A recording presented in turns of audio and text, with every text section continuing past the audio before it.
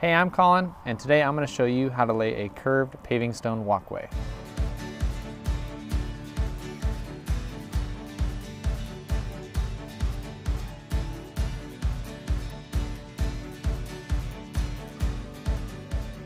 For this specific project, we're going to be laying a walkway that has a lot of curves.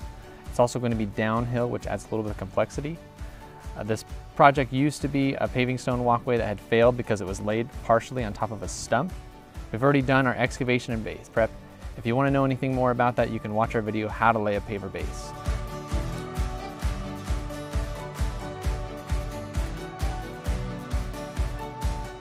With our gravel base prepared, we can jump right into our first step, which is screeding the bedding layer.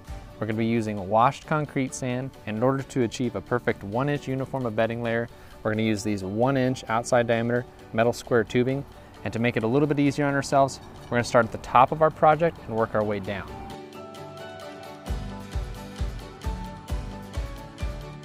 So we've set some of our rails. I just wanted to touch really quickly that we're going to be working with our slope there's an uh, immense amount of natural grade here, and that's okay if it uh, exceeds the ICPI specifications on slope for paving stones, but it's just always better and easier to work with your slope. So because we have a few different transitions here, in order to lay the rails to make it the screeding a lot easier and more efficient, we've laid the rail with each different transition and grade. That way we can make sure we um, split whatever differences we can to make this look as gradual as possible. Also, it's always good to double check your rails at any absolutes like asphalt or concrete that you're matching up with. Just kind of slide the paver up there. If you need to beat your rail down a little bit, that's no problem. Uh, within an eighth or a quarter of an inch is tolerable.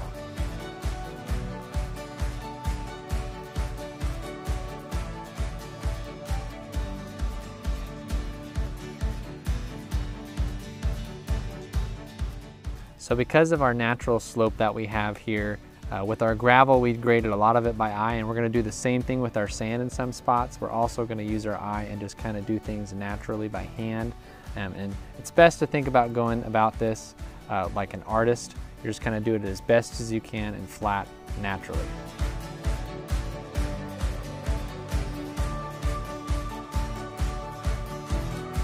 When working with long screed rails and natural grade, occasionally you have some humps and bumps. So if your rail comes up on you and bows like this, that's fine. Just make sure you apply force with your screed board and work with those transitions instead of against them.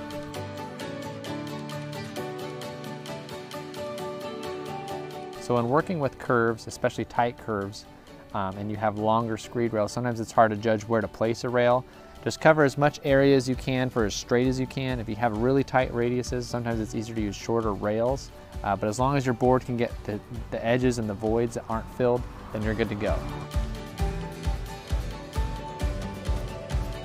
With the majority of our field screeded, we're gonna go back and we're gonna fill our voids with some fresh sand. We're just gonna toss it in with a shovel and then smooth it out with a trowel.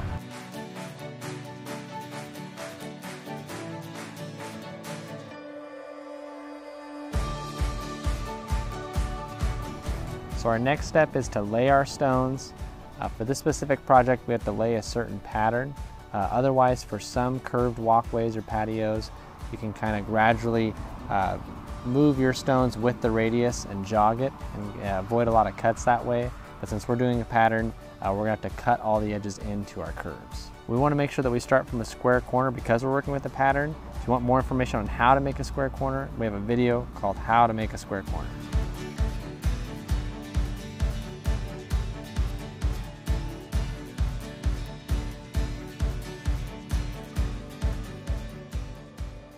To improve efficiency when laying, it's always best to use a click and drop method. What you want to do is take a stone, butt it up to a corner and slide it down versus setting the stone in the sand and then trying to tuck it towards itself.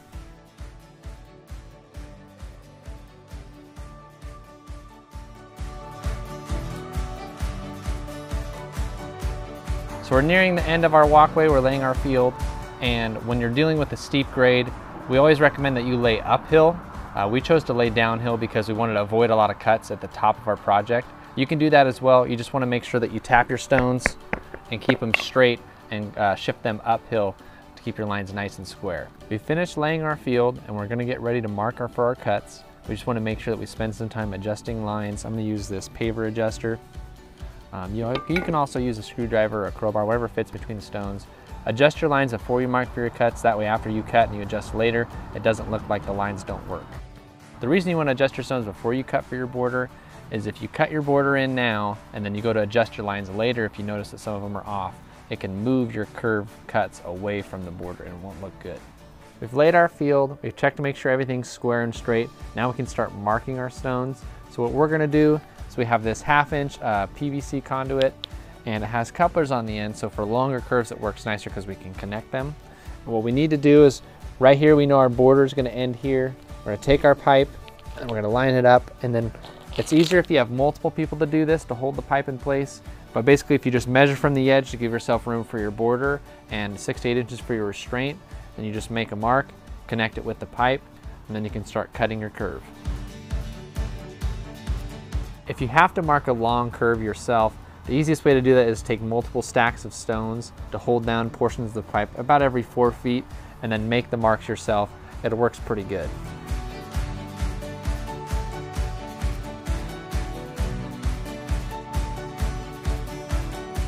So we've marked one side of our curve here and we're gonna start it a little wide, it's about six feet, uh, but we wanna neck it down to about 48 inches. What we'll do is we'll take our tape measure, we'll make multiple marks uh, from one end to the other, and then we'll use those marks to, as a guide for our pipe to make sure that we're perfectly um, the same width all the way throughout this part of the curve.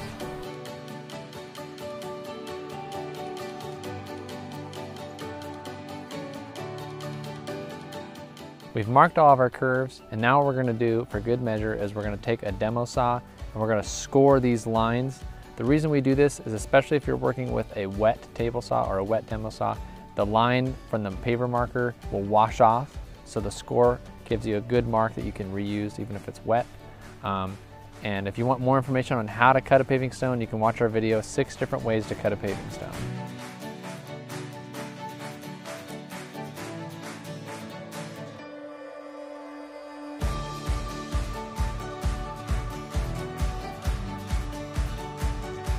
We finished cutting in our field and now we can start laying our border stone. Majority of our curves are pretty gradual to where we can just lay the border stone soldier and have a little bit of gappage and that's fine. Uh, wherever the radius gets a little bit tighter, we might need to cut our stones themselves and give them a little bit of a bevel to make it a little bit more smooth.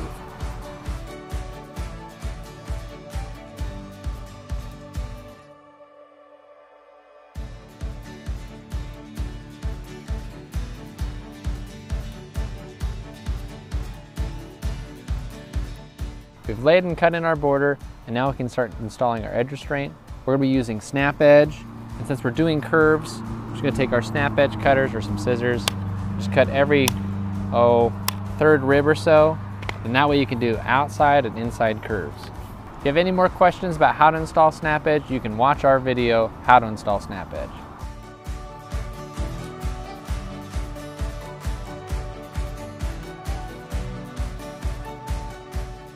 We've installed our edge restraint, we covered it up with some sand so it wouldn't get warped in the sun.